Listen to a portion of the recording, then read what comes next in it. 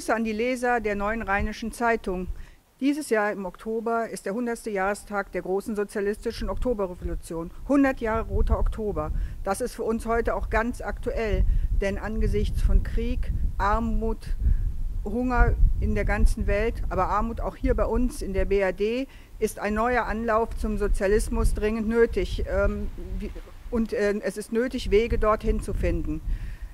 Dafür brauchen wir die Zusammenarbeit vieler Menschen, von Kommunistinnen und Kommunisten, aber auch anderen Menschen, die für eine gerechte Welt eintreten. Und äh, wir möchten alle zu einer Diskussion zu diesem, in dieser Hinsicht und zu gemeinsamen Aktivitäten in dieser Hinsicht einladen. Aktivitäten gegen den Krieg, Aktivitäten gegen die Klassengesellschaft, Aktivitäten für den Sozialismus.